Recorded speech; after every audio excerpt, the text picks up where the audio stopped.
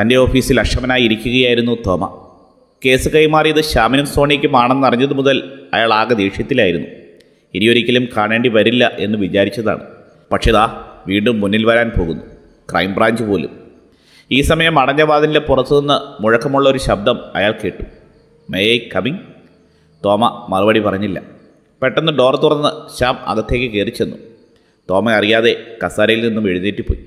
അയാൾ വേഗം തന്നെ സല്യൂട്ട് ചെയ്തു. ഇരിക്കാൻ അംഗം കാണിച്ച് ഒരു നേരിയ ചിരിയോടെ ശ്യാം കസാരയിലിരുന്നു. എന്താണ് പറയേണ്ടതെന്നറിയാതെ തോമ കുഴഞ്ഞു. ശ്യാമിനെ കണ്ടപ്പോൾ ചെവി പുകയുന്ന ഒരു ഫീൽ അയാൾക്കുണ്ടായി. ശ്യാം പറഞ്ഞു മിസ്റ്റർ തോമ ഞാൻ തീരെ പ്രതീക്ഷിച്ചില്ല കേട്ടോ. ഓർഡർ കിട്ടി ഇങ്ങോട്ട് വരുമ്പോഴാണ് അറിഞ്ഞത് ഇവിടുത്തെ ചാർജിലുള്ളത് തോമയാണെന്ന്. തോമ മുരടനക്കിക്കൊണ്ട് പറഞ്ഞു ഏ സാർ ഇവിടെ ഇടമലയാർ കേസിലെ ഫയൽസ് എല്ലാമുണ്ട്. കൈമാറാൻ വിളിച്ചിരുന്നു മുകളിൽ നിന്ന്. തോമയൊരു നീല ഫയലെടുത്ത് ശ്യാമിന് നേരെ നീട്ടി. ഇന്ന് തന്നെ ഡ്യൂട്ടി തുടങ്ങിയാണോ സാർ. തോമ ചോദിച്ചു. ശ്യാം ഫയൽ മറിച്ച് നോക്കുന്നതിന്റെ ഇടയിൽ പറഞ്ഞു ഈ കേസ് ഏറ്റപ്പോൾ തന്നെ ഞാൻ ഡ്യൂട്ടിയിലാണ് തോമ സാറേ. ശ്യാം കൈനീട്ടിക്കൊണ്ട് പറഞ്ഞു അപ്പോൾ താങ്ക്സ് തോമ. ഇടയ്ക്ക് ഞാൻ വിളിക്കും. അപ്പോൾ ലൈനിലുണ്ടാകണം കേട്ടല്ലോ? തോമ കൈകൊടുത്തുകൊണ്ട് പറഞ്ഞു ഏ സാർ ഞാൻ ഉണ്ടാകും. ശ്യാം എഴുന്നേറ്റ് പുറത്തേക്ക് നടന്നു. ഡോറിൽ പിടിച്ചുകൊണ്ട് തിരിഞ്ഞു നിന്ന് പറഞ്ഞു പിന്നെ തോമ സാറേ പഴയ കളികളെല്ലാം ഞാൻ മറന്നു കേട്ടോ അതുപോലെ തന്നെ ആവണം സാറും കേട്ടല്ലോ? തോമയുടെ മറുപടിക്ക് കാത്തു നിൽക്കാതെ ശ്യാം പുറത്തേക്ക് ഇറങ്ങി തോമ കുറച്ച് നിമിഷം കൂടി അങ്ങനെ തന്നെ നിന്നു. ശ്യാമിന്റെ അടുത്ത് നിൽക്കുമ്പോൾ ആകെ അസ്വസ്ഥതയായിരുന്നു അയാൾക്ക്. തൊപ്പി ഉരി വെച്ചിട്ട് അയാൾ കസാരയിലേക്ക് ചാഞ്ഞു. ശ്യാം പോലീസ് സ്റ്റേഷനിൽ നിന്നും ഇറങ്ങുമ്പോൾ തന്നെ അരുൺ അടുത്തേക്ക് ചെന്നു. സാർ ഞാൻ അരുൺ ഫോറൻസിക്കിലാണ്.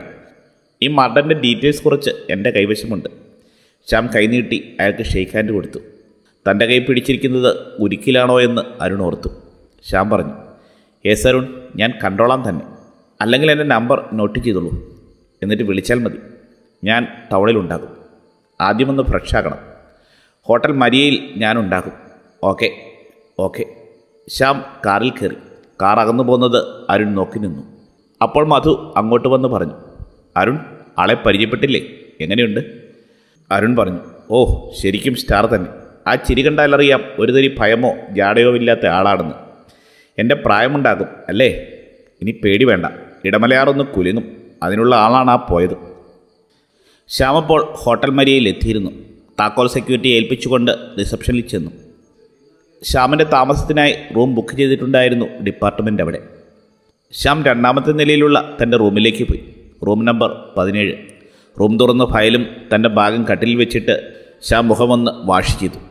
ബാഗിൽ നിന്നും ടർക്കി എടുത്തുകൊണ്ട് ഫ്രഷ് ആവാൻ ബാത്റൂമിൽ കയറി. എല്ലാം ശ്യാമിന്റെ ആവശ്യത്തിന് റൂമിൽ ഒരുക്കിയിരുന്നു. ഏകദേശം ആറുമണിയോടെ ശ്യാം ജനലിന്റെ അരികിലായിരുന്നു. തന്റെ കയ്യിൽ കിട്ടിയ ഫയൽ മറിച്ചു നോക്കിക്കൊണ്ടിരുന്നു. ശ്യാമിന്റെ നെറ്റി ചുളിഞ്ഞു. സജയൻ എന്നൊരാൾ ഇതിൽ ഇൻവോൾവ് ആണല്ലോ. ആരാണ് അയാൾ?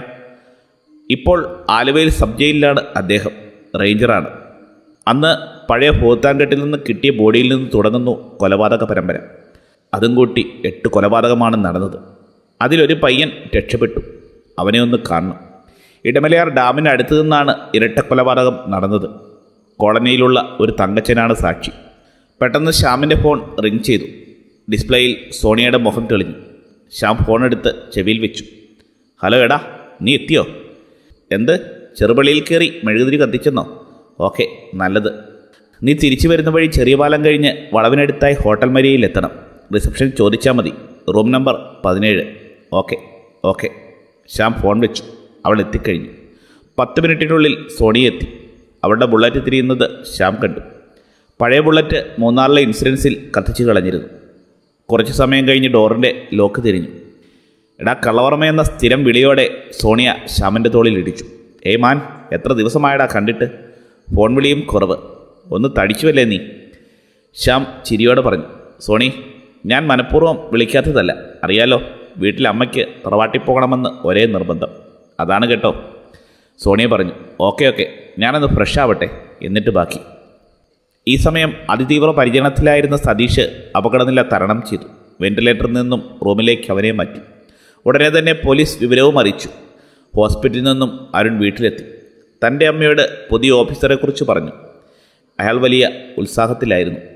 ഇതിന്റെ പുറകിൽ ആരായിരുന്നുവെങ്കിലും പിടിച്ചു കൊന്നുകളയണമെന്ന അഭിപ്രായമായിരുന്നു അയാൾക്ക്. പിറ്റേന്ന് തന്നെ ശ്യാമസോണിയും സതീശനെ കാണാൻ കോലഞ്ചേരി ഹോസ്പിറ്റലിലെത്തിയിരുന്നു. ബുള്ളറ്റ് ഒതുക്കി വെച്ചിട്ട് അവർ ഡോക്ടറെ ചെന്ന് കണ്ടു. സതീഷിനോട് സംസാരിക്കാനുള്ള അനുവാദം ഡോക്ടർ കൊടുത്തു. ഐ സിയുവിനോട് ചേർന്നുള്ള ഒരു റൂമിലായിരുന്നു സതീഷ് കിടന്നിരുന്നത്. അകത്ത് സതീശന്റെ അമ്മയും അച്ഛനും ഉണ്ടായിരുന്നു. ശ്യാമ അവരോട് തങ്ങൾ ആരെന്ന് പരിചയപ്പെടുത്തി. കുറച്ചു നേരം അവനോട് സംസാരിക്കണമെന്ന് ആവശ്യപ്പെട്ടു. റൂമിൽ സതീഷിന്റെ കട്ടിലിനടുത്ത് കസാര വലിച്ചിട്ടുകൊണ്ട് ശ്യാം ചേർന്നിരുന്നു. അവന്റെ നെറ്റിയിൽ തലോടിക്കൊണ്ട് പറഞ്ഞു ടെൻഷൻ അടിക്കേണ്ട പേടിക്കുകയും വേണ്ട. ഞാൻ തന്റെ ഫ്രണ്ടാണെന്നുള്ള ധൈര്യത്തിൽ പറഞ്ഞുകൊള്ളൂ. അന്ന് സംഭവിച്ചത് എന്താണെന്ന്. സതീഷ് പ്രയാസപ്പെട്ട് പതിയെ അന്ന് നടന്ന സംഭവങ്ങളെല്ലാം വിവരിച്ചു. താൻ ആക്രമണത്തിനിരയായത് പറഞ്ഞപ്പോൾ ക്രമാതീതമായി നെഞ്ചുയർന്നു താന്നു. വല്ലാതെ പേടിച്ചു പോയിട്ടുണ്ട് സതീഷ് എന്ന് ശ്യാമിന് മനസ്സിലായി. Relax relax. ശ്യാം അവന്റെ മുടിയിൽ തഴുകി. ഇനി പേടിക്കേണ്ട. താൻ ഹോസ്പിറ്റലിൽ നിന്ന് പോകുന്നതിന് മുമ്പ് അറിയും. എല്ലാം ശുഭമായെന്ന്. Okay get well soon. Shyam അവിടെ നിന്നും ഇറങ്ങി. റൂമിന് പുറത്തു നിന്ന് അച്ഛനും അമ്മയും അവരെ കണ്ട് കൈകൂപ്പി. സോണിയ അമ്മയുടെ കൈ പിടിച്ചുകൊണ്ട് പറഞ്ഞു പേടിക്കേണ്ട അമ്മേ ഇനിയൊരു പ്രശ്നവും ഉണ്ടാവില്ല കേട്ടോ. ഹോസ്പിറ്റലിൽ നിന്നും ഇറങ്ങിയ അവർ നേരെ പെരുമ്പാവൂർ വഴി ആലുവയ്ക്ക് തിരിച്ചു. പോകുന്ന വഴി ശ്യാം ചോദിച്ചു സോണിയ ഇന്നലെ ഫയലെല്ലാം വായിച്ചിട്ട് ഈ പയ്യന്റെ മൊഴിയും കേട്ടപ്പോൾ നിനക്കെന്താ തോന്നുന്നത്? സോണിയ പറഞ്ഞു ഇതിലൊരു സീരിയൽ കില്ലർ ആണോ എന്ന് ഡൗട്ടുണ്ട് കാരണം മുറിവുകളെല്ലാം ഒരേപോലെയാണ്. മാത്രമല്ല ഇടമലയാർ റോഡിൽ മാത്രമാണ് പ്രശ്നം. മറ്റു വഴികൾ ഇതൊന്നും ബാധകമല്ല. ശ്യാം പറഞ്ഞു. പക്ഷേ അങ്ങനെ ഒരു കില്ലർ ഐ മീൻ സൈക്കോ ആണെങ്കിൽ അവിടെ മാത്രം ഒതുങ്ങി നിൽക്കുമോ? ഇതിൽ പറഞ്ഞ പ്രകാരം ഡാമിന്റെ മുകളിലുള്ള കോളനിയിൽ മനുഷ്യരുണ്ടല്ലോ. പക്ഷേ അവിടെ കൊലപാതകങ്ങളില്ലല്ലോ. സോണിയ പറഞ്ഞു. അതെ അതും പോയിന്റാണ് സൈക്കോ മോഡുള്ള കില്ലറാണെങ്കിൽ കോളനികളിൽ പ്രശ്നമുണ്ടാക്കിയേനെ. ഒരു മണിക്കൂറിനുള്ളിൽ അവർ ആലുവയിലെത്തി. സബ് ജയിൽ വാർഡനെ കണ്ട് അനുവാദം മേടിച്ച് സജയനെ കാത്തിരുന്നു. ഒരു പോലീസുകാരൻ സജയനെ അങ്ങോട്ട് കൊണ്ടുവന്നു. ആകെ ക്ഷീണിതരായിരുന്നു അയാൾ. ശ്യാം കൈകൊണ്ട് അയാളെ കസാരയിൽ ഇരിക്കാൻ പറഞ്ഞു. കസാരയിൽ ഇരുന്നു കൊണ്ട് സജയൻ മുഖമുയർത്തി നോക്കി. അത്ഭുതം കൊണ്ട് അയാളുടെ കണ്ണുകൾ വികസിച്ചു. ശ്യാം സാർ വന്നുവല്ലേ? മതി. ഇനി ഞാൻ പറയാമല്ല. സംഭവിച്ചതല്ല. ശ്യാമിന് മനസ്സിലായി തന്നെ അറിയുന്ന ആളാണെന്ന്. പക്ഷേ ഇപ്പോൾ നിയമത്തിന്റെ മുന്നിൽ കുറ്റവാളിയാണ്. ശ്യാം പറഞ്ഞു മിസ്റ്റർ സജയൻ അന്ന് എന്തായിരുന്നു ഓഫീസിൽ സംഭവിച്ചത്? സജയൻ ആവേശത്തോടെ നടന്നത് മുഴുവൻ പറഞ്ഞു. അവസാനം അയാൾ തേങ്ങി കരഞ്ഞുപോയി. ശ്യാം പോലീസുകാരനെ നോക്കി. അയാൾ സജയനെ പിടിച്ച് എഴുന്നേൽപ്പിച്ചു കൊണ്ടുപോയി അയാൾ പോകുന്ന വഴി പറഞ്ഞുകൊണ്ടിരുന്നു. ശ്യാം സാർ ആരെയും വെറുതെ വിടരുത്. ബാക്കി വെച്ചേക്കണ്ട. കൊന്നു കളഞ്ഞേക്ക്. കൊന്നു കളഞ്ഞേക്ക്. ശ്യാമും സോണിയും വാടനെ കണ്ട് പുറത്തിറങ്ങി. സോണി ചോദിച്ചു ഇനി എന്താ പ്ലാൻ? ശ്യാം പറഞ്ഞു ഇനി കാണേണ്ടയാൾ ഇങ്ങോട്ട് വിളിച്ചേക്കുമെന്നെ. പറഞ്ഞു തീരുന്നതിന് മുമ്പ് ഫോൺ റിങ് ചെയ്തു. ശ്യാം ഫോൺ എടുത്തു. മറുതലക്കൽ അരുണായിരുന്നു. അവൻ വരുന്ന വഴി കാണാമെന്ന് പറഞ്ഞ് ശ്യാം ഫോൺ കട്ട് ചെയ്തു. ഉച്ചയോടെ ഹോട്ടൽ മരിയിൽ അരുണെത്തി റൂമിൽ കടന്നു ചെല്ലുമ്പോൾ സോണിയ മാത്രമായിരുന്നു അവിടെ ഉണ്ടായിരുന്നത്. അയാളത് സംശയിച്ചു. റൂം മാറിപ്പോയോ? ശ്യാം സാർ അയാൾ ചോദിച്ചു. സോണിയ പറഞ്ഞു യെസ് ഇപ്പോൾ വരും. ഇരിക്കെ. അരുൺ സോണിയെ നോക്കി. ഇതാകും കൂടെയുള്ള ഓഫീസർ. ഫ്രീക്ക് പെണ്ണുങ്ങളുടെ സ്റ്റൈലിലാണല്ലോ എന്നോർത്തു. അഞ്ച് മിനിറ്റിനുള്ളിൽ ശ്യാം എത്തി. എണീറ്റ് നിന്ന് അരുണിനോട് ഇരിക്കാൻ പറഞ്ഞുകൊണ്ട് ശ്യാം കട്ടിലിരുന്നു അരുൺ മുഖവര കൂടാതെ അന്ന് എസ് ഐ മണികണ്ഠൻ വിളിച്ചത് റെക്കോർഡ് കേൾപ്പിച്ചു. ശ്യാമിന്റെ നെറ്റി ചുളിഞ്ഞു. ആ റെക്കോർഡിംഗ് തനിക്ക് വാട്സപ്പ് ചെയ്യാൻ പറഞ്ഞു.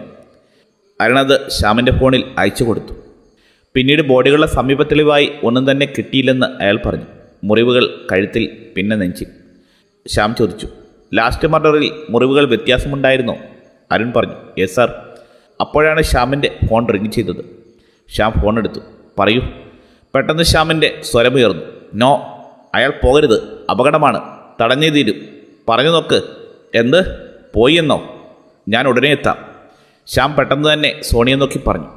സോണി വേഗം ഇടമലയാറെത്തണം. ഇല്ലെങ്കിൽ പ്രശ്നമാകും. അരുൺ ഒന്നും മനസ്സിലാകാതെ നിന്നുപോയി. ഇടമലയാറിൽ വീണ്ടും മരണത്തിന്റെ കഴുകൻ പറന്നിറങ്ങുമോ? ശ്യാമസോണിയും ബുള്ളറ്റിൽ കയറി പാഞ്ഞു പോകുന്നത് അരുൺ അമ്പരപ്പോടെ ഹോട്ടലിന് മുന്നിൽ നിന്ന് നോക്കി നിന്നു. അയാൾക്കൊന്നും മനസ്സിലായില്ല. ഷേ പറയാനുള്ളതെല്ലാം പറഞ്ഞില്ല. സജയന്റെ കാര്യമാണ് പ്രധാനമായും സൂചിപ്പിക്കാനുള്ളത്. ആ സാരമില്ല. ഇനി നാളെ ആവട്ടെ. സമയം സന്ധ്യയാകുന്നു. വീട്ടിലേക്ക് പോയേക്കാം. അവരുടെ പുറകെ പോയാൽ ശരിയാവില്ല. അരുൺ തന്റെ ബൈക്ക് സ്റ്റാർട്ട് ചെയ്തു. ഹോട്ടലിന് മുന്നിൽ നിന്നും അയാൾ മുന്നോട്ടേക്ക് നീങ്ങി. ടൗണിലെ തിരക്കിലഴിഞ്ഞു ഈ സമയം ശ്യാമസോണിയും പോലീസ് സ്റ്റേഷനിൽ എത്തിയിരുന്നു. ബുള്ളറ്റ് നിർത്തിയില്ല. അതിനു മുമ്പ് കോൺസ്റ്റബിൾ മധു ശ്യാമിന്റെ അടുത്തേക്ക് ഓടി വന്നു. പരിഭ്രമത്തോടെ പറഞ്ഞു സാർ തോമസ് സാർ ബുള്ളറ്റിൽ ഇടമലയാറിന് പോയിട്ടുണ്ട്. റിവോൾവറും എടുത്തുകൊണ്ട്. പ്രശ്നം അതല്ല പുള്ളി ഇന്ന് ലീവ് എടുത്തു. എന്നിട്ട് ഇവിടെ കുറച്ച് കമ്പനിയുണ്ട്. അവരുടെ കൂടെ നല്ല ഫോമിലായിരുന്നു. അവരും കൂടെ ഉണ്ടാകുമെന്ന് പറഞ്ഞു. എന്തായാലും ഇന്ന് എല്ലാ കേസും പുള്ളി തീർക്കുമെന്ന് വെല്ലുവിളി നടത്തിയിട്ടാണ് പോയത്. ഞാൻ കുറച്ചു നേരമായി സാറിനെ വിളിക്കുന്നു. ഇപ്പോഴാണ് കിട്ടിയത്. സോണിയെ ചോദിച്ചു. എത്ര നേരമായി അയാൾ പോയിട്ട്? മധു പറഞ്ഞു ഏകദേശം ഒരു അരമണിക്കൂർ ആയിട്ടുണ്ട്. ശ്യാം ചോദിച്ചു ഇവിടെ നിന്നും ഇടമലയാറെത്താൻ എത്ര സമയമെടുക്കും മധു പറഞ്ഞു അരമണിക്കൂർ വേണ്ട സാർ. പിന്നെ തോമസ് സാറിന്റെ പോക്ക് കണ്ടിട്ട് പത്ത് പതിനഞ്ച് മിനിറ്റ് തികച്ച് വേണമെന്ന് തോന്നുന്നു. ശ്യാം ബുള്ളറ്റ് വളച്ചുകൊണ്ട് ചോദിച്ചു ഇവിടുന്ന് സെക്കൻഡ് ലെഫ്റ്റല്ലേ റോഡ്? മധു പറഞ്ഞു അതെ സാർ. ചേലാട് ചെങ്കര പൂത്താങ്കെട്ട് പിന്നെ ചക്കിമേട് കഴിഞ്ഞ് ഇടമലയാർ തുടങ്ങും.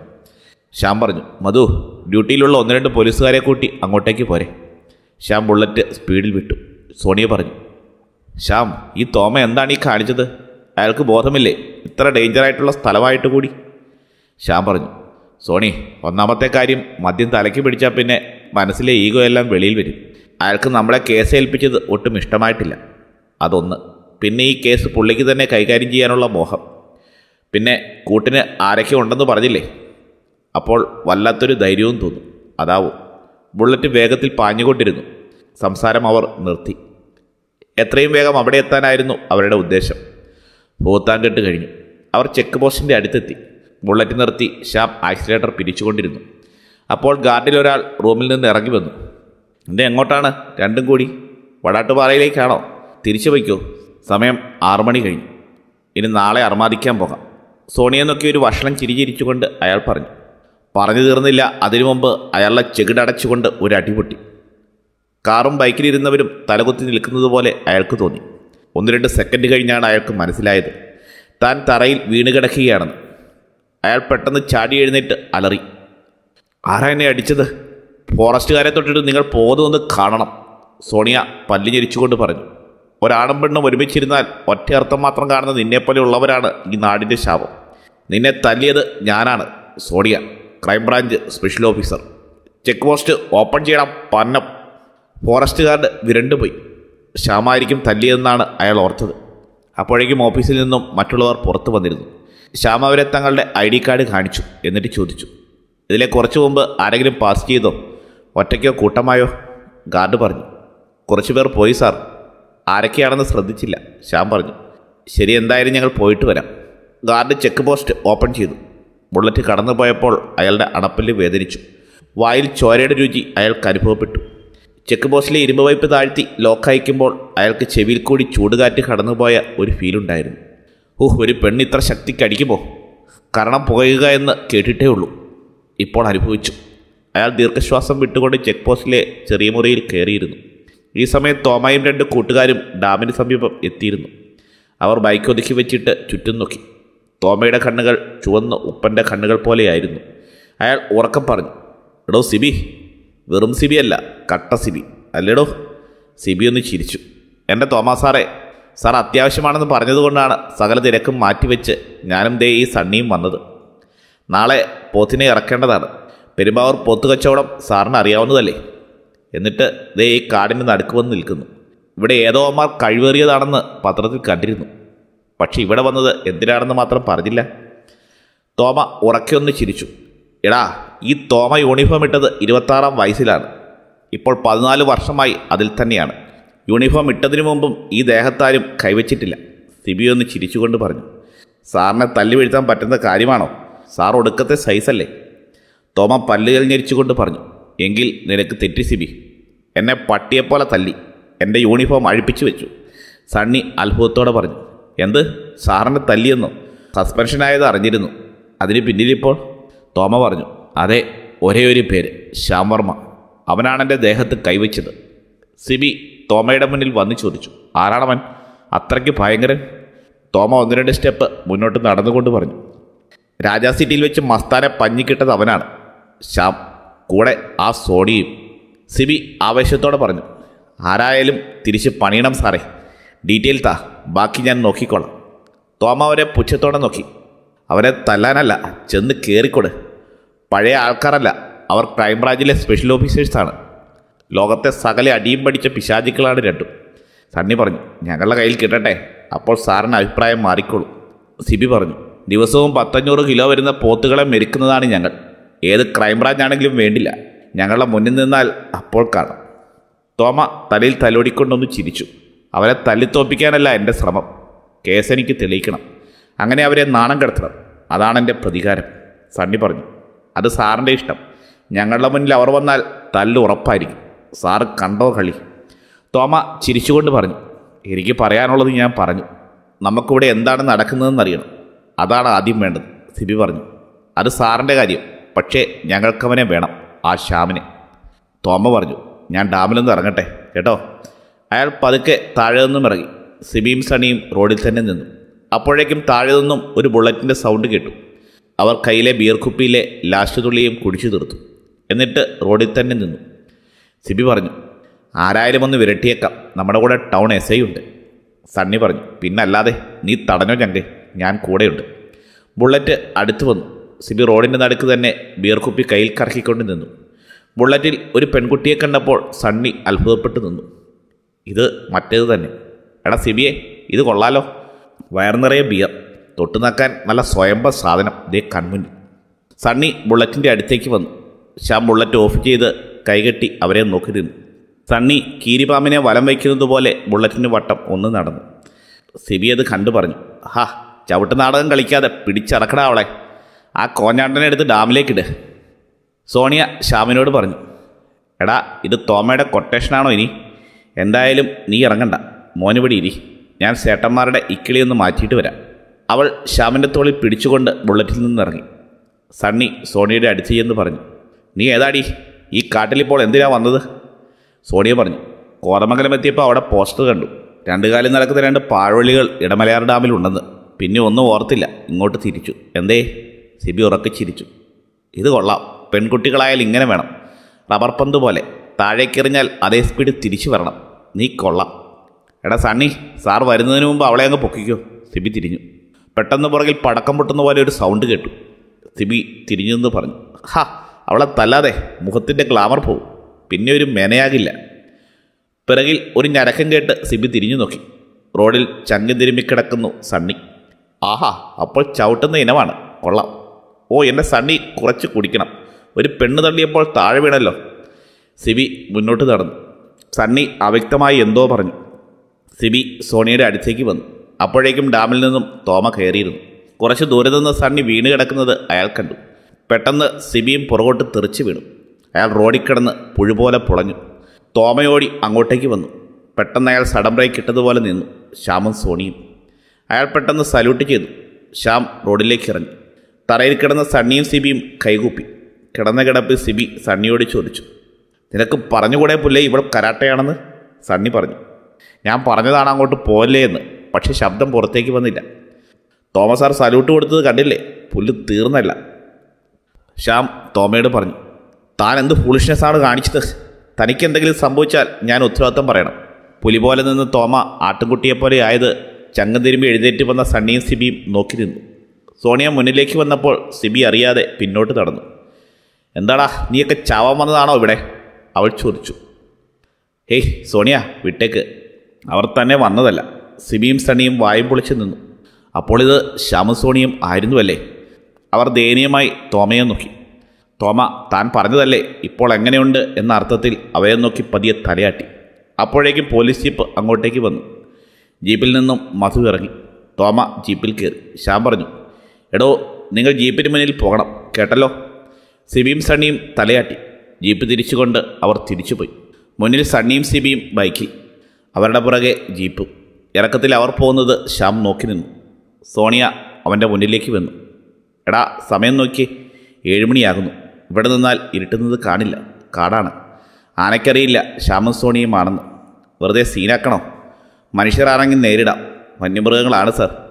ശ്യാം പറഞ്ഞു. എടാ സോണി നമ്മൾ കുറച്ചു നേരം ഇവിടെ നിന്നേ തീരും. ചിലപ്പോൾ നമ്മൾ അന്വേഷിക്കുന്ന ആൾ നമ്മളെ നോക്കി വന്നാലോ? സോണിയ പറഞ്ഞു ആ വരട്ടെ എങ്കിൽ. കാണാം നമുക്ക്.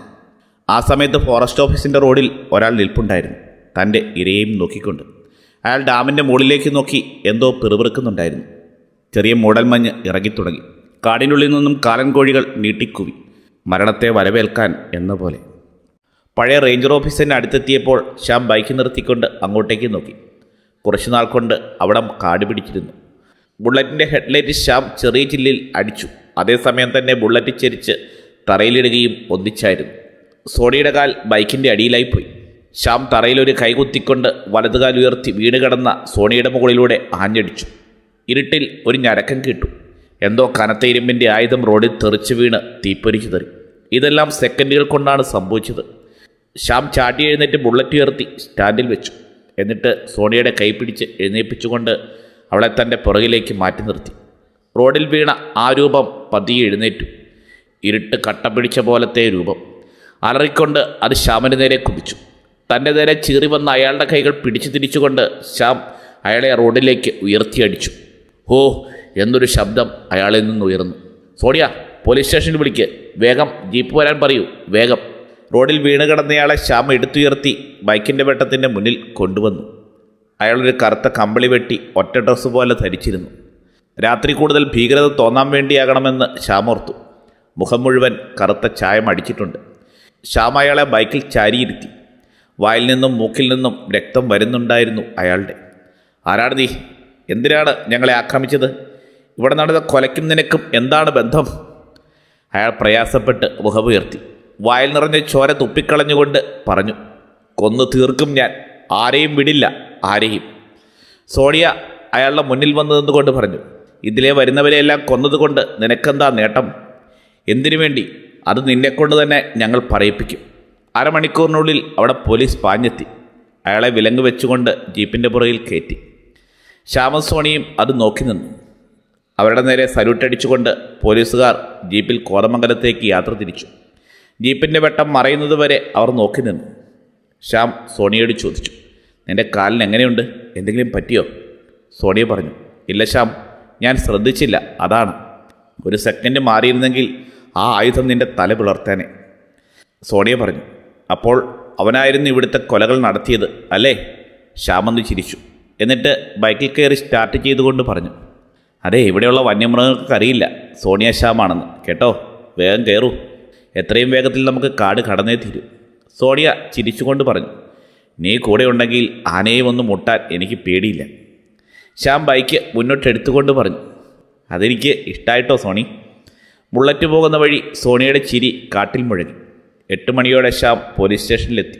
ഇടമലയാറിൽ നിന്നും കൊണ്ടുവന്നയാളെ ലോക്കപ്പിൽ ഇട്ടിരുന്നു. അപ്പോൾ അവിടെ ചാർജുള്ള എ എസ് സിയെ വിളിച്ച് ആരോടുമൊന്നും പറയരുതെന്ന് പറഞ്ഞേൽപ്പിച്ചു. അങ്ങനെ ഒരു അറസ്റ്റ് ഉണ്ടായത് നാളെ അറിഞ്ഞാൽ മതി എല്ലാവരും. ശ്യാമസോണിയും അവിടെ നിന്നും ഇറങ്ങി. ഹോട്ടൽ മരിയയിൽ തന്റെ മുറിയിലിരുന്നു കൊണ്ട് ശ്യാം പറഞ്ഞു എടോ നിന്റെ കാലം നോക്കണം കേട്ടോ. രാവിലെ ഇനി പ്രശ്നമാകരുത്. സോണിയ പറഞ്ഞു ഓ ഒന്നുമില്ലടോ അത് പോട്ടെ. ഇനി എന്താ പ്ലാൻ? അത് പറ. ശ്യാം കട്ടിൽ കിടന്നുകൊണ്ട് പറഞ്ഞു അരുൺ അവന് പറയാൻ എന്തൊക്കെയോ ഉണ്ട്. അത് കേൾക്കട്ടെ ആദ്യം. സോണിയ ചോദിച്ചു അപ്പോൾ കേസിന്റെ പ്രശ്നം കുറച്ച് സോൾവായി അല്ലേ ശ്യാം? ഇപ്പോൾ കേസിന്റെ പ്രശ്നം കുറച്ച് സോൾവായില്ലേ ശ്യാം? അയാളെ കിട്ടിയില്ലേ? ശ്യാം എഴുന്നേറ്റുകൊണ്ട് പറഞ്ഞു കേസ് സോൾവായെന്നോ തുടങ്ങിയില്ല ഒന്നും. പിന്നെ എങ്ങനെ പകുതി സോൾവാകും? സോണിയ ഒന്നും മനസ്സിലാകാതെ നിന്നു. ശ്യാം അത് കണ്ട് പറഞ്ഞു താൻ പോയി ഫ്രഷാക് ഞാൻ ഫുഡ് ഓർഡർ ചെയ്യട്ടെ. ശ്യാം പുറത്തേക്ക് നടന്നു. പിറ്റേന്ന് രാവിലെ തന്നെ ശ്യാമസോണിയും സ്റ്റേഷനിലെത്തി. അകത്തു നിന്നും തോമയുടെ അലർച്ച കേൾക്കുന്നുണ്ടായിരുന്നു. ശ്യാം അങ്ങോട്ടേക്ക് ഓടിച്ചെന്നു. ലോക്കപ്പിൽ നില ഇടമലയാറിൽ നിന്ന് കിട്ടിയയാളെ തല്ലിച്ചതക്കുകയായിരുന്നു തോമ. എടോ തോമ സ്റ്റോപ്പ് ഇറ്റ് ശ്യാം ഉറക്കെ പറഞ്ഞു. തോമ നെറ്റിയിൽ നിന്ന് വിയർപ്പ് തുടച്ചുകൊണ്ട് തിരിഞ്ഞ് ശ്യാമിനെ നോക്കി സല്യൂട്ട് ചെയ്തു. ശ്യാം ലോക്കപ്പ് തുറന്ന് അകത്ത് കയറി. ഇടികൊണ്ടിരുന്ന ആൾ ഭിത്തിയിൽ ചാരിയിരുന്ന് കിതച്ചു. തോമയോട് ശ്യാം പറഞ്ഞു തന്റെ മൂന്നാം മുറ കാണിക്കുന്നത് ഇവിടെയല്ല. ഇയാളെ ഞാനാണ് കസ്റ്റഡിയിലെടുത്തത് അപ്പോൾ ഞാൻ ചോദിക്കാനുള്ളത് ചോദിച്ചോളാം. തോമ പുറത്തേക്ക് പോയി.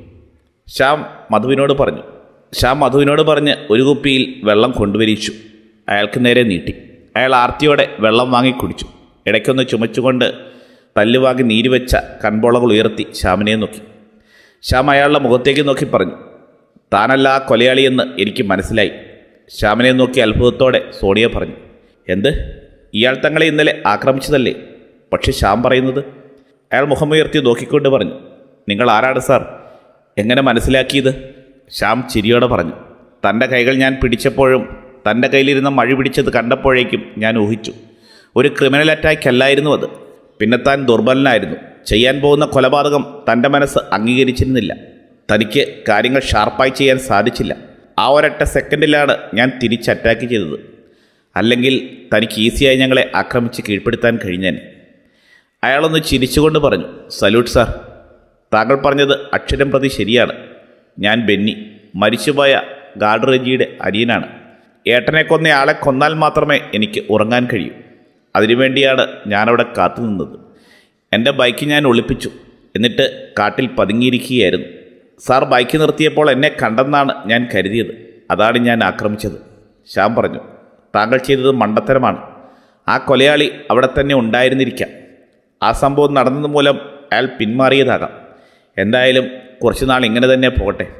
പുറത്ത് ന്യൂസൊന്നും കൊടുക്കുന്നില്ല. ശ്യാം പുറത്തേക്കിറങ്ങി. തോമയെ കണ്ട് കാര്യങ്ങൾ പറഞ്ഞു. തോമ പകച്ചു നിന്നു. അപ്പോൾ ആരാണ് കൊലയാളി? ശ്യാമ സോണിയും ബുള്ളറ്റിൽ കയറിയപ്പോഴായിരുന്നു ശ്യാമിന്റെ ഫോൺ റിങ് ചെയ്തത്. അങ്ങേത്തലയ്ക്കൽ അരുണായിരുന്നു. പ്രിയാണൽ ഭൂത്താങ്കട്ടിൽ വരാൻ പറഞ്ഞ് ശ്യാം ഫോൺ വെച്ചു. അവർ ഭൂത്താങ്കട്ടിലേക്ക് തിരിച്ചു. ബൈക്ക് ചെക്ക് പോസ്റ്റിന്റെ അടുത്തെത്തിയപ്പോൾ ആ പഴയ കാർഡ് ഓടി വന്നു. സോണിയ അയാളെ നോക്കി ചിരിച്ചു. അയാൾ ഭവ്യതയോടെ അവരെ നോക്കി നിന്നു. അയാളുടെ നേരെ ബുള്ളറ്റിന്റെ ചാവി എറിഞ്ഞു കൊടുത്തിട്ട് ശ്യാം ചോദിച്ചു. പഴയ പോത്താങ്കട്ടിലേക്ക് എങ്ങനെ പോകും? അപ്പോഴാണ് അരുൺ അവിടെ എത്തിയത്. അയാളെ കണ്ടപ്പോൾ ശ്യാം ചോദിച്ചു ആഹാ അപ്പോൾ താൻ അടുത്തു നിന്നാണോ എന്നെ വിളിച്ചത്? അരുൺ ബൈക്ക് സ്റ്റാൻഡിൽ വെച്ചുകൊണ്ട് പറഞ്ഞു ഇന്ന് ഞാൻ ലീവാണ് സാർ. പിന്നെ എന്റെ വീട് ഇവിടെ അടുത്ത് തന്നെയാണ്. സോണി അപ്പോൾ അരുണിനോട് പറഞ്ഞു നന്നായി ഇയാൾ വന്നത്. നമുക്ക് പൂത്താങ്കട്ട് വരെ ഒന്ന് പോകാം. എന്താ? അരുൺ ഉത്സാഹത്തോടെ പറഞ്ഞു അതിനെന്താ സാർ പോകാമല്ലോ. അങ്ങനെ അവർ നടക്കാൻ തുടങ്ങി. പോകുന്ന വഴികളെല്ലാം അരുൺ വിശദീകരിച്ചു കൊടുത്തുകൊണ്ടിരുന്നു. അവർ നടന്ന് പുഴക്കരയിലെത്തി. അവിടെ സന്ദർശനമുണ്ടായിരുന്നില്ല. പുഴയുടെ കരയിൽ നിന്നും ശ്യാം ചുറ്റും നോക്കി. വലിയ പാറക്കൂട്ടങ്ങൾ ചുറ്റിനും. സോണിയ അരുണിനോട് ചോദിച്ചു ആ ബോഡി കിടന്നത് ഏത് ഭാഗത്തായിരുന്നു? വരുൺ ഒരു വശത്തേക്ക് വിരൽ ചൂണ്ടി. അവിടെയാണ് സാർ. ശ്യാമും സോണിയും അങ്ങോട്ടേക്ക് നോക്കി. സാർ അവിടെ ചതുപ്പുണ്ട്. സൂക്ഷിച്ചു വേണം. ശ്യാമരുണിനെ അടുത്ത് വിളിച്ചുകൊണ്ട് പറഞ്ഞു തനിക്കെന്തോ എന്നോട് പറയാനുണ്ടല്ലോ. അത് കേൾക്കട്ടെ. സോണിയ ബോഡി കിടന്ന സ്ഥലത്ത് നിന്ന് കുറച്ചു മാറി എന്തോ തിരയുകയായിരുന്നു. അരുൺ ശ്യാമിനോട് പറഞ്ഞു സാർ ഈ പുഴക്കരയിൽ നിന്നും കിട്ടിയ ബോഡിയിൽ നിന്നും സജയന്റെ ഐ ഡി കിട്ടിയിരുന്നു. ശ്യാം അരുണിന്റെ മുഖത്തേക്ക് സൂക്ഷിച്ചു നോക്കി. എന്നിട്ട് ചോദിച്ചു എന്തിനാണ് അരുൺ ഇങ്ങനെ കള്ളം പറയുന്നത്? ആർക്കു വേണ്ടിയാണ്? എന്തിനു വേണ്ടി? അരുണിന്റെ മുഖം വിളറി വിയർത്തുപോയി. സാർ അയാൾ ഭീതിയുടെ മുൾമുനയിലായി. എന്ത്? താൻ കള്ളം പറഞ്ഞുവെന്നോ? സാർ ഞാനെന്തിന് കള്ളം പറയണം? അയാൾ നിന്ന് വിറച്ചു. ശ്യാം അരുണിന്റെ മുന്നിലേക്ക് വന്നു. എന്നിട്ട് പറഞ്ഞു തന്റെ ചേട്ടനാണ് സജയൻ. തന്റെ ചേട്ടനാണ് സജയൻ. ഒരേ ചോര. അരുണിന്റെ കണ്ണുകളിൽ ഇരുട്ട് കയറി. എനിക്കെല്ലാം മനസ്സിലായി മിസ്റ്റർ അരുൺ. എല്ലാം ഞാൻ മനസ്സിലാക്കി കഴിഞ്ഞു. ഇനി എങ്ങനെയെന്ന് വിശദീകരിക്കാം. അത് കേട്ടിട്ട് ഇയാൾക്ക് തീരുമാനിക്കാം. ഞാൻ കള്ളം പറയുന്നതാണോ? അതോ ഇയാൾ അഭിനയിക്കുന്നതാണോ എന്ന്. ശ്യാം അരുണിന്റെ സമീപം കിടന്ന ഒരു ചെറിയ കല്ലെടുത്ത് പുഴയിലേക്ക് എറിഞ്ഞുകൊണ്ട് പറഞ്ഞു അന്ന് സജയനെ കാണാൻ ചെന്നപ്പോൾ എവിടെയോ കണ്ട പരിചയം തോന്നിയിരുന്നു. അയാൾക്ക് എന്നെ അറിയാം. പക്ഷെ പ്രതിയുടെ മൊഴി കേൾക്കാൻ ചെന്ന അയാളുടെ ഫാമിലി മാറ്റേഴ്സ് ചോദിക്കുന്നത് ശരിയല്ല. പക്ഷേ എന്റെ മുന്നിലിരുന്ന സജയൻ കർത്ത എന്ന പ്രതി അയാളുടെ അച്ഛനെ ഞാനറിയും. നാരായണൻ. അച്ഛന്റെ സുഹൃത്തായിരുന്നു. പക്ഷെ അതല്ല നിങ്ങളുടെ ബന്ധം കണ്ടുപിടിക്കാൻ കാരണം. താൻ എന്തോ ഒന്ന് ഒളിക്കുന്നുവെന്ന് തന്നെ കണ്ടപ്പോൾ തന്നെ എനിക്ക് തോന്നിയിരുന്നു. കാരണം താൻ പോലും അറിയാതെ ചില കാര്യങ്ങൾ ഞാൻ ശ്രദ്ധിച്ചു. ഒന്നിയാളുടെ കണ്ണുകൾ ചിമ്മി കൂടെ കൂടെ അടയ്ക്കുന്നു. തന്റെ കാലുകൾ സ്റ്റഡിയായിരുന്നില്ല. ഇതെല്ലാം സെക്കൻഡുകൾ കൊണ്ടാണ് ഞാൻ ശ്രദ്ധിച്ചത്. പിന്നെ താൻ ക്ഷയിക്കാണ്ട് നിന്നപ്പോൾ തന്റെ കയ്യിലെ വിറയൽ കൈപ്പത്തിയിലെ വീർപ്പ് എല്ലാം ഒരു തെറ്റുമറയ്ക്കുന്നതിന്റെ ലക്ഷണങ്ങളായിരുന്നു. ഞാൻ കണ്ടപ്പോഴേ നോട്ട് ചെയ്തിരുന്നു. പിന്നെ എല്ലാവരിലും ഇത് കാണാൻ കഴിയില്ല കേട്ടോ. ഫുൾ ഫ്രോഡ് ടീമുകൾ വെറുതെ ചിരിച്ചു നിന്നിട്ടുണ്ട് എന്റെ മുന്നിൽ. പക്ഷേ അരുൺ നല്ലൊരു മനസ്സിന്റെ ഉടമയാണ്. അങ്ങനെ പക്ക ക്രിമിനൽ മൈൻഡുള്ള ആളല്ല. ഇവിടെ നിന്നും വിളിച്ചാൽ എനിക്ക് കാര്യങ്ങൾ അറിയിക്കാൻ ആളുകളുണ്ട്. സജന്റെ അച്ഛന്റെ രണ്ടാമത്തെ ഭാര്യ സരോജിനിയെ അങ്ങനെയാണ് ഞാൻ അറിഞ്ഞത്. പക്ഷേ ഒരു കുട്ടിയുണ്ടായിരുന്നപ്പോൾ നാരായണൻ കർത്ത സ്വന്തം നാട്ടിലേക്ക് തിരിച്ചു പോന്നു. പക്ഷേ നല്ലൊരു വീടും സ്ഥലവും കുറച്ച് കാഷ് ഡിപ്പോസിറ്റും സരോജിനിക്ക് കൊടുത്തിട്ടാണ് അയാൾ പോയത്. അരുൺ വളർന്നു. അച്ഛൻ ആരാണെന്നറിഞ്ഞു താനവിടെ നാരായണന്റെ വീട്ടിൽ ചെന്ന് ബഹളമുണ്ടാക്കിയതും എല്ലാം അറിയാം. പക്ഷേ സ്വന്തം മേട്ടൻ ഇവിടെ റേഞ്ചറായി വരുമെന്ന് അരുൺ ഓർത്തില്ല. താൻ ചാർജ് എടുത്തതിന്റെ തലേന്നാണ് സജയൻ ചാർജ് എടുത്തത്. അല്ല ബാക്കി അരുണിനറിയാം. അരുൺ മുഹമ്മത്തി കരഞ്ഞു. ശരിയാണ് സാർ. ചെറുപ്പം മുതൽ അമ്മ മാത്രമായിരുന്നു എല്ലാം. ഞാൻ വളർന്നപ്പോൾ അച്ഛൻ ആരാണെന്ന് അറിയാൻ വേണ്ടി മാത്രം അമ്മയോട് സ്ഥിരം വഴക്കിട്ടു. അങ്ങനെയാണ് അറിഞ്ഞത്. എനിക്ക് അച്ഛൻ മാത്രമല്ല ഒരു ഏട്ടൻ കൂടിയുണ്ടെന്ന് പക്ഷേ അയാൾ ഇങ്ങോട്ട് വരുമെന്ന് കരുതിയില്ല. അയാൾ ചാർജ് എടുത്ത് അന്ന് തന്നെ ഞാൻ വിവരമറിഞ്ഞു അച്ഛനോടുള്ള ദേഷ്യം ഏട്ടനോട് തോന്നി. എങ്ങനെയെങ്കിലും അയാളെ മുട്ടുകൊത്തിക്കണം എന്ന് മനസ്സിലുറപ്പിച്ചു. ഒരു നിഴൽ പോലെ ഞാൻ അയാളുടെ പുറകെ ഉണ്ടായിരുന്നു. ഒരു വൃക്ഷത്തിന്റെ അടുത്ത് മറഞ്ഞു നിന്ന എന്നെ അയാൾ നോക്കിയത് ഭീതിയുടെ നിഴലിലായിരുന്നു. പിന്നെ അയാൾ പുഴയിലേക്ക് പോകുന്ന സമയം അയാൾ നിന്നിരുന്ന സ്ഥലത്ത് അയാളുടെ ഐ ഡി കളഞ്ഞു കിട്ടി. അത് ഞാൻ സൂക്ഷിച്ചു വെച്ചു. അവിടെ വെച്ച് അയാളെ ഒന്ന് പൊട്ടിക്കണം എന്നായിരുന്നു മനസ്സിൽ. പക്ഷെ പിന്നെ നടന്നത് വേറെയാണ്. പുഴക്കരയിൽ കണ്ട ബോഡി എന്റെ പ്രതീക്ഷ തെറ്റിച്ചു. പോലീസ് എത്തുമെന്ന് ഉറപ്പായതോടെ ഞാൻ അവിടെ നിന്നും പോന്നു. പിറ്റേന്ന് ബോഡിയുടെ അടുത്ത് വന്ന സർജൻ കാണാതെ ഐ ഡി ഞാൻ ഒളിപ്പിച്ചു. പക്ഷെ പിറ്റേന്ന് രാത്രി മണികണ്ഠൻ സാർ അപകടത്തിൽപ്പെട്ടപ്പോൾ ഞാൻ പതറിപ്പോയി. എന്തോ സംഭവിക്കുന്നുണ്ടായിരുന്നു എന്ന് തോന്നി. സർജൻ ഐ ഡി എന്റെ കയ്യിൽ തന്നു എന്ന് പോലീസിനോട് പറയുന്നതിന് മുമ്പ് ഞാൻ പറഞ്ഞേക്കാമെന്ന് കരുതി. വൃക്ഷത്തിന്റെ അടുത്ത് മറഞ്ഞു നിന്ന അയാൾ എന്നെ നോക്കിയത് ഭീതിയുടെ നിഴലിലായിരുന്നു. പിന്നെ അയാൾ പുഴക്കരയിലേക്ക് പോകുന്ന സമയം അയാൾ നിന്നിരുന്ന സ്ഥലത്ത് അയാളുടെ ഐ ഡി കളഞ്ഞു കിട്ടി. ഞാനത് സൂക്ഷിച്ചു വെച്ചു. അവിടെ വെച്ച് അയാളെ ഒന്ന് പൊട്ടിക്കണമെന്നുണ്ടായിരുന്നു മനസ്സിൽ. പക്ഷേ പിന്നീട് നടന്നത് വേറെയാണ്. പുഴക്കരയിൽ കണ്ട ബോഡി എന്റെ പ്രതീക്ഷ തെറ്റിച്ചു. പോലീസ് എത്തുമെന്ന് ഉറപ്പായതോടെ ഞാൻ അവിടെ നിന്നും പോന്നു. പിറ്റേന്ന് ആ ബോഡിയുടെ അടുത്ത് തന്നെ സർജൻ കാണാതെ ഐ ഡി ഒളിപ്പിച്ചു. പക്ഷെ പിറ്റേന്ന് രാത്രി മണികണ്ഠൻ സാർ അപകടത്തിൽപ്പെടുമ്പോൾ ഞാൻ പതറിപ്പോയി. എന്തോ സംഭവിക്കുന്നുണ്ടായിരുന്നുവെന്ന് തോന്നി. സർജൻ ഐ ഡി എന്റെ കയ്യിൽ തന്നുവെന്ന് പോലീസിനോട് പറയും മുമ്പ് ഞാൻ തന്നെ പറഞ്ഞേക്കാമെന്ന് കരുതി. പക്ഷേ ഇടമലയാറിൽ നടന്ന സംഭവങ്ങൾ എന്നെ പേടിപ്പെടുത്തി. സജയൻ ചേട്ടൻ ചെയ്ത കൊലയാണെന്നറിഞ്ഞ് ഞാൻ ഉള്ളിൽ സന്തോഷിച്ചു. പക്ഷെ വീണ്ടും വീണ്ടും കൊലപാതകങ്ങൾ നടന്നതാണ് മനസ്സിലാകാത്തത്. ചേട്ടൻ നിരപരാധിയാണെന്നുള്ള തോന്നൽ ഉണ്ടാക്കിയത്. അരുൺ മുഖം പൊത്തിയിരുന്നു. ശ്യാമ അയാളുടെ തോളിൽ ആശ്വസിപ്പിച്ചു. എന്നിട്ട് പറഞ്ഞു അരുൺ താൻ പോയി മുഖമൊന്ന് കഴുകുക ചെല്ല്. അരുൺ താഴേക്ക് നടന്നു. സോണിയ ശ്യാമിന്റെ അടുത്തേക്ക് വന്ന് പറഞ്ഞു എപ്പോഴാണ് നീ ഇതെല്ലാം അന്വേഷിച്ചത്? ഞാൻ അറിഞ്ഞില്ലല്ലോ. ശ്യാം ചിരിച്ചു പറഞ്ഞു ആരന്വേഷിച്ചു? അരുണിനെ ആദ്യം കണ്ടപ്പോൾ ഞാൻ പറഞ്ഞത് ശരിയാണ്. പക്ഷേ അന്വേഷണം നടത്തിയില്ല. അജന്റെ കാര്യം പറയുമ്പോൾ അയാളുടെ മുഖം മറന്നത് ഞാൻ ശ്രദ്ധിച്ചിരുന്നു. അവന്റെ അമ്മയുടെ പേര് സരോജിനി എന്നാണെന്ന് ഞാൻ അറിഞ്ഞിരുന്നു. സജന്റെ അച്ഛൻ എന്റെ അച്ഛന്റെ സുഹൃത്താണ് എന്നുള്ളത് ശരിയാണ്. പക്ഷേ അയാൾ പതറാതെ നിന്നിരുന്നുവെങ്കിൽ ഇത് നമ്മൾ ഒരിക്കലും അറിയില്ല. അയാൾ ശക്തമായി പ്രതിഷേധിച്ചിരുന്നു എങ്കിൽ ചിലപ്പോൾ ഈ ടോപ്പിക്ക് തന്നെ വിട്ടേനെ. സോണിയ പറഞ്ഞു ഓഹ് നീ മെന്റലിസം പഠിച്ചിട്ടുണ്ടല്ലേ? ശ്യാം ചിരിയോടെ പറഞ്ഞു കുറച്ചുനാൾ പോയിരുന്നു എന്നത് ശരിയാണ്. പക്ഷേ എവിടെയും നമ്മുടെ മൈൻഡ് പോലെ ഇരിക്കും കാര്യങ്ങൾ. എല്ലാറ്റിനുപരി വേണ്ടത് നമ്മുടെ നിരീക്ഷണമാണ്. സോണിയ പറഞ്ഞു ദൈവത്തെ ലാഗാക്കി കളയണ്ട. കാര്യങ്ങൾ അറിയാൻ ആളുകൾ നോക്കിയിരിക്കുകയാണ്. അരുൺ അങ്ങോട്ടേക്ക് വന്നു. ശ്യാം അരുണിനോട് ചോദിച്ചു താൻ ഇവിടെ ജനിച്ചു വളർന്ന ആളല്ലേ? അരുൺ കർച്ചീഫ് കൊണ്ട് മുഖം തുടച്ചുകൊണ്ട് പറഞ്ഞു അതെ സാർ. എന്റെ സ്കൂൾ ടൈം അവധിയെല്ലാം ഇവിടെ തന്നെയായിരുന്നു. ഇവിടെ എല്ലാ സ്ഥലവും എനിക്ക് കാണാപ്പാടമാണ് ശ്യാം പാറയിലിരുന്നു കൊണ്ട് ചോദിച്ചു ഈ പറങ്ങിക്കാടുന്ന സ്പോട്ട് എവിടെയാണ്? തനിക്കറിയോ? അരുൺ പറഞ്ഞു അറിയാം സാർ. ചക്കിമേടിനും തൊണ്ടർ റോഡിനും ഇടയ്ക്കാണ്. എന്താ ചോദിച്ചത്? സോണിയുടെ ആയിരുന്നു അടുത്ത ചോദ്യം. ചീരുവെന്നൊരു ആദിവാസി പയ്യനെ അറിയുമോ? അരുൺ അത്ഭുതത്തോടെ ചോദിച്ചു. അറിയാം. നിങ്ങൾക്കെങ്ങനെ ചീരുവിനെ അറിയാം? അവൻ മരിച്ചുപോയി. ഒന്ന് രണ്ട് വർഷമായി. ശ്യാം വീണ്ടും ചോദിച്ചു. പറങ്കിക്കാടിന് വല്ല പ്രത്യേകതയും ഉള്ളതായി അരുണിന് അറിയുമോ? അരുൺ അതിശയത്തോടെ ചോദിച്ചു. ഇല്ല സാർ ഒന്നുമില്ല. അവിടെ വന്യമൃഗങ്ങൾ കൂടുതലായി കാണപ്പെടുന്നുണ്ട്. അല്ലാതെ എന്താ പ്രത്യേകത? എന്റെ അറിവിലില്ല. ശ്യാം സോണിയെ നോക്കി. അതിന്റെ അർത്ഥം മനസ്സിലാക്കിയ സോണിയ അരുണിനോട് ചോദിച്ചു. പക്ഷെ സജയം പറഞ്ഞത് വേറെയാണല്ലോ. അതും ഇതും സിങ്ക് ആകുന്നില്ലോ അരുണെ. ശ്യാം പാറയിൽ നിന്ന് എഴുന്നേറ്റ് അരുണിന്റെ മുന്നിലേക്ക് വന്നുകൊണ്ട് പറഞ്ഞു മിസ്റ്റർ അരുൺ താൻ ഞങ്ങൾക്കിവിടെ ഒരുക്കിയ കെണി അറിഞ്ഞുകൊണ്ട് തന്നെയാണ് ഞങ്ങൾ ഇങ്ങോട്ട് വന്നത്. എല്ലാം തെളിയുന്ന ഒരു ദിവസമുണ്ടാകുമെന്ന് താൻ ഓർത്തില്ല അല്ലേ? അഭിനയം നല്ലതാണ് പക്ഷേ ഇവിടെ ചെലവാകില്ല. അരുണിന്റെ മുഖം മാറി വന്നു. അയാൾ മുഷ്ടി ചുരുട്ടി വായുവിലിടിച്ചു. അതേടാ നിന്റെ അന്വേഷണം ഇവിടെ തീരുന്നു. സജയൻ എന്റെ ചേട്ടനല്ല ആരുമല്ല. ഇതെന്റെ സാമ്രാജ്യമാണ്. ഈ കാണുന്നതെല്ലാം എനിക്ക് വേണ്ടി സൃഷ്ടിച്ചതാണ്. എല്ലാം കയ്യിലൊതുക്കുന്ന ദിവസത്തിന് വേണ്ടിയുള്ള കാത്തിരിപ്പിന്റെ ഒടുവിൽ പുതിയ റേഞ്ചറിന്റെ അവതാരം. ബഷീർ പറഞ്ഞത് അയാൾ വിശ്വസിച്ചു. അല്ല വിശ്വസിപ്പിച്ചു.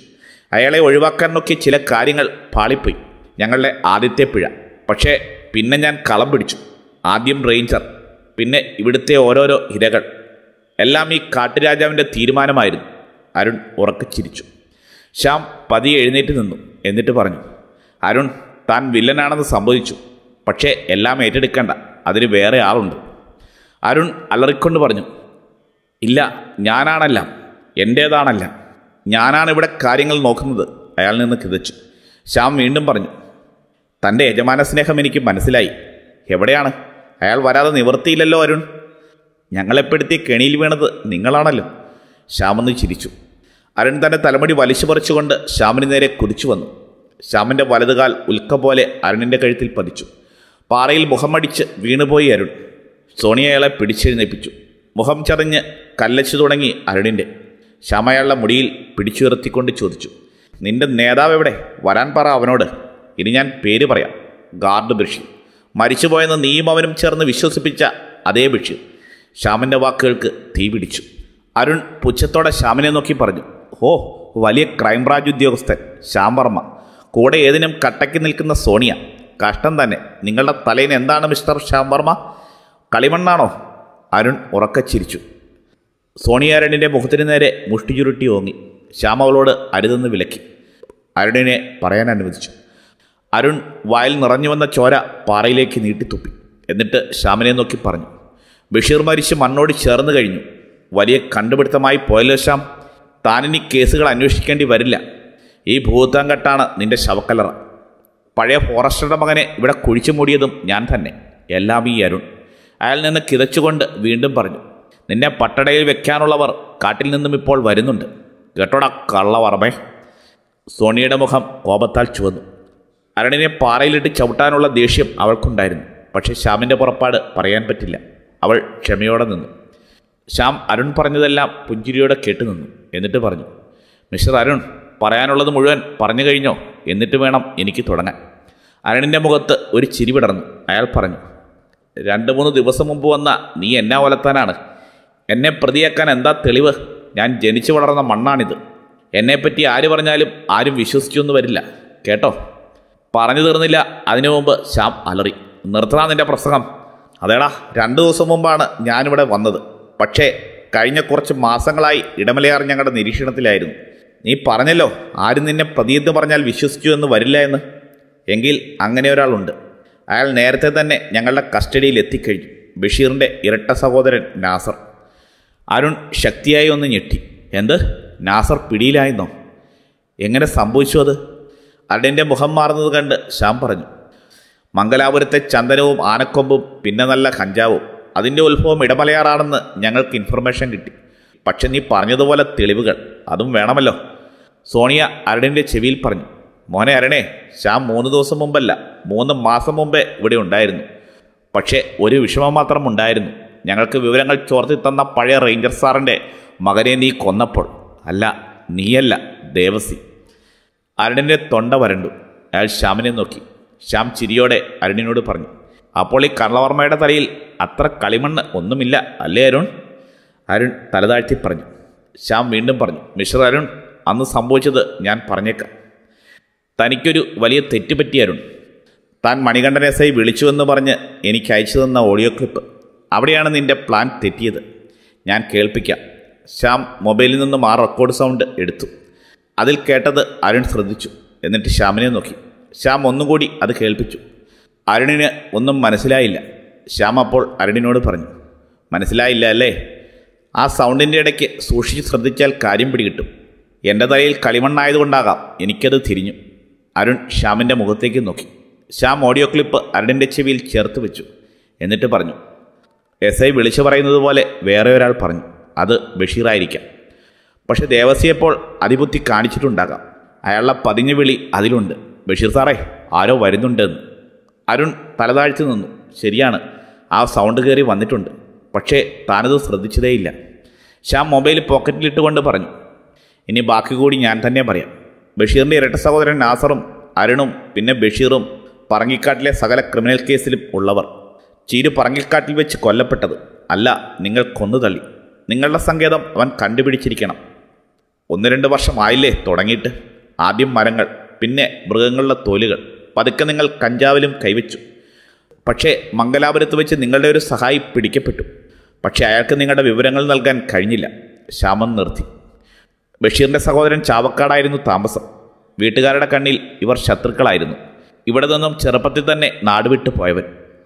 പക്ഷേ ക്രിമിനൽ മൈൻഡിൽ ബഷീറും നാസറും സമാസമം. അന്ന് നിങ്ങൾ വലിയൊരു പ്ലാൻ പദ്ധതിയിട്ടു. പറകിക്കാട്ടിൽ സൂക്ഷിച്ചിട്ടുള്ള പഴയ ആനക്കൊമ്പിന്റെ കൂടെ പോത്താങ്കെട്ടിലുള്ള ഭഗവതി വിഗ്രഹവും കടത്തണമെന്ന്. പക്ഷേ സജയന്റെ വരവ് എല്ലാം തെറ്റിച്ചു. അതോടെ അടുത്ത പ്ലാൻ ഒരുങ്ങി പറങ്കിക്കാടൊരു സബ്ജക്റ്റാക്കി സജയനെ മുന്നിലിട്ടു. പഴയ ഭൂത്താങ്കെട്ടിലേക്ക് സജയൻ വരുമെന്ന് നിങ്ങൾ ഓർത്തില്ല. ഇവിടെ നടത്തിയ കൊലപാതകം. അത് സന്ദർശകർ കാണാത്ത ഇടത്താകണമെന്ന് ഡാമിന്റെ മുകളിലെ കോളനിയിലെ തങ്കച്ചനോടും മകനോടും പറഞ്ഞത് ബഷീറായിരുന്നു. പക്ഷേ അവിടെയും നിങ്ങൾക്ക് പിഴച്ചു. ചതുപ്പിൽ താഴെക്കണ്ട ബോഡി. എങ്ങനെയോ തടഞ്ഞു നിന്നു. കാലുകൾ ചതുപ്പിൽ താണില്ല. അവിടെ ചുറ്റിപ്പറ്റി നിന്ന തങ്കച്ചന്റെ മകനെ സജയൻ കാണുകയും ചെയ്തു. ബഷീർ പിന്നെ കളിച്ചത് വേറെ രീതിയിലായിരുന്നു. അന്ന് രാത്രിയിൽ നാസറെ അന്ന് രാത്രിയിൽ നാസറെ അങ്ങോട്ട് വിളിച്ചു വരുത്തി. ബഷീറിന് പകരം നാസർ അവിടെ വന്നു. ദേവസിയും ബഷീറും കാര്യങ്ങൾ പ്ലാൻ ചെയ്തു. സജയനെ ഒഴിവാക്കുകയും വേണം. ബഷീർ മരിച്ചെന്ന് സ്ഥാപിക്കുകയും വേണം. ഷെയർ മൂന്ന് മതിയെന്ന് അരുണും ബഷീറും ദേവസിയും തീരുമാനിച്ചു. പാവം റജി ഇതൊന്നും അറിഞ്ഞതേയില്ല. അന്ന് പറങ്കിക്കാടിന്റെ കാര്യം പറഞ്ഞുകൊണ്ട് നാസർ ബഷീറായി തകർത്ത് അഭിനയിച്ചു. സജയന്റെ മനസ്സിലത് ഒരു പേടിയായി വളർന്നു. ഭക്ഷണത്തിൽ മയക്കുമരുന്ന് നൽകി സജയനെ ഉറക്കാനായിരുന്നു പ്ലാൻ എന്നിട്ട് കൊന്ന് പറങ്കിക്കാട്ടിൽ ഉപേക്ഷിക്കുക. പക്ഷേ അവിടെയും നിങ്ങൾക്ക് പിഴച്ചു. സജയന്റെ മൈൻഡ് മാറി. പേടിച്ചിരുന്ന അയാളുടെ അപബോധ മനസ്സ് അയാളെ മറുകാഴ്ചകൾ കാണിക്കാൻ തുടങ്ങി. ഈ സമയം ദേവസി പോസ്റ്റ് ഓഫീസിന്റെ അകത്തേക്ക് കടന്നു. സജയനെ വകവരുത്തുക മാത്രമല്ല കൂടെ നാസറിനെയും കൊല്ലുക എന്നതായിരുന്നു പ്ലാൻ പക്ഷേ അരണ്ട വെളിച്ചത്തിൽ റിജിയായിരുന്നു കൊല്ലപ്പെട്ടത്. സജയനെ കൊല്ലാൻ കഴിഞ്ഞില്ല. രണ്ട് മർഡർ കഴിഞ്ഞ് ദേവസി അവിടെ നിന്നും ബഷീറിന്റെ അരികിലെത്തി. രാവിലെ തന്നെ ഓഫീസിലെത്തിയ ബഷീർ കണ്ടത് അപ്പോഴേക്കും അബാധാവസ്ഥയിലുള്ള സജയനെയാണ്. റജി കൊല്ലപ്പെട്ടതൊന്നും അയാൾ അറിഞ്ഞിരുന്നില്ല. റജി കൂടെയുണ്ടെന്ന് സജയന്റെ മനസ്സ് തോന്നിച്ചു. സജയനെ കുളിക്കാൻ വിട്ടത് റജിയുടെ കൂടെയാണെന്ന് ബഷീർ പറയുന്നത് മയക്കുമരുന്നിന്റെ ലഹരിയിൽ സജയന് തോന്നുകയും ചെയ്തു. തങ്കച്ചനെ കൊണ്ട് പോലീസ് സ്റ്റേഷനിൽ വിളിച്ചു പറയിപ്പിച്ചു ബഷീർ. അവർ പോകുന്നതിന് മുമ്പ് തന്നെ അവിടെ നിന്നും കാട്ടിലേക്ക് പോവുകയും ചെയ്തു. അങ്ങനെ തെളിവുകൾ സജയന് എതിരായി. അപ്പോഴേക്കും ഞങ്ങൾക്ക് ഡീറ്റെയിൽ കിട്ടിക്കഴിഞ്ഞു. എസ് ഐ മണികണ്ഠനോട് സൂചിപ്പിച്ചു പക്ഷേ അയാൾ തനിയെ അവിടെ ചെല്ലുമെന്ന് ഞങ്ങൾ ഓർത്തില്ല. തങ്കച്ചനെ രാത്രി അവിടെ വെച്ച് കണ്ട എസ് ഐ ദേവസിയെ അന്വേഷിച്ചു. അത് തങ്കച്ചൻ വരുണിനെ അറിയിച്ചു. വരുണപ്പോൾ ബഷീറിനെ വിളിച്ചു. മണികണ്ഠൻ കാര്യങ്ങൾ അറിഞ്ഞുവെന്ന് നിങ്ങൾക്ക് മനസ്സിലായി. പിന്നെ അടുത്ത കൊലപാതകം. അതിൽ നിങ്ങൾ കണ്ടെത്തിയത് ടൂ വീലർ റിപ്പയറിലും മിടുക്കനായ തങ്കച്ചന്റെ മകനെ തന്നെയായിരുന്നു. അവൻ പറഞ്ഞ ജോലി ചെയ്തു. ഇടമലയാർ റോട്ടിൽ കാലന്റെ രൂപത്തിൽ ദേവസി കാത്തു നിന്നു. കൊലപാതകങ്ങൾ ചെയ്ത് ചെയ്ത് അതിൽ ഹരം കൊള്ളുന്ന മൈൻഡിലേക്ക് അയാൾ മാറിക്കഴിഞ്ഞു. ശ്യാമെന്ന് നിർത്തിയിട്ട് അരുണിനെ നോക്കി. തങ്കച്ചനും മോനും പോലീസ് കസ്റ്റഡിയിൽ എത്തിക്കഴിഞ്ഞു. ഇനി നിങ്ങൾ മാത്രം അരുൺ പറഞ്ഞു. ദേ അവരും എത്തി. ഇനി ആര് കീഴടങ്ങുമെന്ന് നമുക്ക് തീരുമാനിക്കാം. ശ്യാം അങ്ങോട്ട് നോക്കി. പുഴയുടെ താഴെ കാട്ടിൽ നിന്നും ബഷീറും ദേവസിയും കയറി വരുന്നു. കൂടെ മല്ലന്മാരെ പോലെയുള്ള മൂന്ന് ആളുകളും ശ്യാം ദേവസിയെ ഒന്ന് നോക്കി. നെഞ്ചൊപ്പം താടി ആറരയടിയിൽ പൊക്കം. അയാളുടെ കയ്യിൽ നിന്ന് രക്ഷപ്പെട്ട സതീഷ് പറഞ്ഞ അടയാളങ്ങൾ ദേവസിയുടെ കയ്യിൽ ഒരു മഴവുണ്ടായിരുന്നു. ബഷീർ കൈയടിച്ചു പറഞ്ഞു അങ്ങനെ ശ്യാം സാറും സോണിയും ഇവിടെ തീരാൻ പോകുന്നു. ദേവസി ആദ്യത്തെ കൊലപാതകം ഞങ്ങൾ പറഞ്ഞിട്ട് ചെയ്തതായിരുന്നു. പക്ഷെ പിന്നെ അവൻ ചെയ്തത് സ്വന്തം ഇഷ്ടപ്രകാരമായിരുന്നു. ആ ഏരിയയിലുള്ള ആളുകളെ ഒന്ന് ഭയപ്പെടുത്തി വിട്ടേക്കണമെന്നാണ് ഞാൻ പറഞ്ഞത്. പക്ഷേ ഇവൻ കൊന്ന് കൊല വിളിക്കുമെന്ന് ഓർത്തില്ല. ദേവസിയൊന്ന് മുരണ്ടു. ശ്യാം സോണിയൊന്ന് നോക്കി. സോണിയ അരുണിന്റെ കഴുത്തിൽ തന്റെ കൈപ്പത്തി വെച്ച് ഒന്ന് വെട്ടി. അരുൺ ബോധം നശിച്ച് പാറയിൽ വീണു. ബഷീർ അലറി. കൊന്ന് കളഞ്ഞേക്ക് ദേവസി അവനെ. പെട്ടെന്ന് പാറയുടെ മുകളിൽ നിന്നും ഒരു ശബ്ദം മുഴങ്ങി. അതെ ഞാനുമുണ്ട് കളിക്ക്. എല്ലാവരും അങ്ങോട്ടേക്ക് നോക്കി. പാറയിൽ തോമയിരിക്കുന്നു അയാൾ ശ്യാമിന്റെ അടുത്തേക്ക് വന്നു. എന്നിട്ട് ബഷീറിനോട് പറഞ്ഞു ഇവിടെ രണ്ടുപേരല്ലേ ഉള്ളൂ നിങ്ങൾ നാല് പേരും. അത് ഞാൻ ഇവിടെ അങ്ങ് കൂടുകയാണ്. അല്ലേ ശ്യാം സാറേ? ശ്യാമെന്ന് ചിരിച്ചു. ദേവസി മഴ ഒങ്ങിക്കൊണ്ട് മുന്നോട്ട് വന്നു. ശ്യാം തോമയെ ഒരു സൈഡിലേക്ക് തള്ളിവിട്ട് പാറയിൽ ഒരു കാൽ ബാലൻസ് ചെയ്തുകൊണ്ട് ദേവസിയെ ആഞ്ഞു ചവിട്ടി. യാതൊരു ദാക്ഷിണ്യവും കൂടാതെ ശ്യാം അയാളെ ആക്രമിച്ചു. തോമയ്ക്കും സോണിയയ്ക്കും അഞ്ച് മിനിറ്റ് തികച്ച് വേണ്ടി വന്നില്ല. ബഷീറും കൂട്ടാളികളും പാറയിൽ കിടന്ന് ഞരങ്ങി. ദേവസിയുടെ വലത് കൈ ശ്യാമിന്റെ കാലിൽ കൊരുത്തു. ഒറ്റത്തിരിക്കൽ. ഒരലർച്ച അയാളിൽ നിന്നും ഉയർന്നു. തോമ ശ്യാമിന്റെ അടുത്തേക്ക് വന്നു. ശ്യാം തോമയുടെ തൊളിത്തട്ടി തോമ പറഞ്ഞു സാർ ഞാൻ താമസിച്ചില്ലല്ലോ അല്ലേ? ഏയ് ഇപ്പോൾ തോമയല്ലേ ഹീറോ അല്ലേ ശ്യാം? തോമ ചിരിച്ചുകൊണ്ട് പറഞ്ഞു ശ്യാമിന്റെ ഒപ്പം എന്നെ കൂട്ടല്ലേ മാഡം? ആളുകൾ സഹിക്കില്ല. കുറച്ച് മിനിറ്റിൽ പോലീസുകാർ അവിടെ എത്തി. അരുണിനെയും മറ്റുള്ളവരെയും കസ്റ്റഡിയിലെടുത്തു. പിറ്റേന്ന് മാധ്യമങ്ങളിൽ വലിയ വാർത്തയായിരുന്നു എല്ലാം ഇടമലയാർ കൊലപാതകങ്ങൾ. വലിയൊരു റാക്കറ്റ് പിടിയിൽ. ആളുകൾ കൂട്ടമായി എത്തി വാർത്തയറിഞ്ഞു. രണ്ട് ദിവസം കഴിഞ്ഞു. ശ്യാം റൂം വെക്കേറ്റ് ചെയ്യാനുള്ള തിരക്കിലായിരുന്നു. അപ്പോഴാണ് സജയൻ അങ്ങോട്ട് വന്നത്. ശ്യാം അയാളെ കണ്ട് പുഞ്ചിരിച്ചു. അയാൾ കൈകൂപ്പി. സർ ഒരുപാട് താങ്ക്സ്. ശ്യാം സജയനോട് പറഞ്ഞു എന്തിന് താങ്ക്സ്? താൻ തെറ്റൊന്നും ചെയ്തില്ലല്ലോ. ഞാനെന്റെ ഡ്യൂട്ടി ചെയ്തു അത്രമാത്രം. സജയന് എന്തോ പറയണമെന്നുണ്ടായിരുന്നു. പക്ഷേ മനസ്സിൽ സന്തോഷം തിങ്ങി നിറഞ്ഞ് അയാൾക്ക് സംസാരിക്കാനായില്ല. കുറച്ചു കഴിഞ്ഞ് സജയം പോയി. സോണിയ ശ്യാമിനോട് ചോദിച്ചു അരുണിന്റെ അമ്മ? ശ്യാമെന്ന് ചിരിച്ചു. അമ്മ സുരക്ഷിതമാണ് ഹോം കെയറിലുണ്ട്. മകൻ കൊലപാതകിയാണെന്ന സത്യം അംഗീകരിച്ചു കഴിഞ്ഞു. പിന്നെ ഞാനിടയ്ക്ക് കാണുന്നുണ്ട് അവരെ. അതുപോലെ. റൂം പൂട്ടിയിട്ട് റിസപ്ഷനിൽ ഏൽപ്പിച്ചുകൊണ്ട് ശ്യാമും സോണിയും പുറത്തേക്ക് ഇറങ്ങി. അപ്പോൾ അങ്ങോട്ട് പോലീസ് ജീപ്പ് എത്തി അതിൽ നിന്നും തോമ ഇറങ്ങി കൂടെ മധു. ശ്യാം സാർ പോവുകയാണല്ലേ? തോമ ചോദിച്ചു. ശ്യാം അയാളുടെ തോളിൽ കൈവച്ചിട്ട് പറഞ്ഞു. പിന്നെ പോകേണ്ട തോമ. ഇവിടെ ഇനി ഞങ്ങൾ വേണ്ട. അല്ലേ സോണി? എന്നാലും തോമ മറ്റൊരംഗത്തിൽ നമ്മൾ കണ്ടുമുട്ടേണ്ടി വരും. അവിടെ വെച്ച് നമുക്ക് കൈകോർക്കാം എന്നും പറഞ്ഞ് ശ്യാമം സോണി പുറത്തേക്ക് നടന്നു. തോമയുടെ കണ്ണുകൾ നിറഞ്ഞു വന്നു. മധുവത് കാണാതിരിക്കാൻ തോമ മറ്റെങ്ങോ നോക്കിയിരുന്നു. കൂട്ടുകാരെ ഡേഞ്ചർ ഫോറസ്റ്റ് ഇവിടെ പൂർണമാകുന്നു. കൂടെ നിന്ന് സപ്പോർട്ട് തന്ന മുഴുവൻ കൂട്ടുകാർക്കും ആയിരം നന്ദി.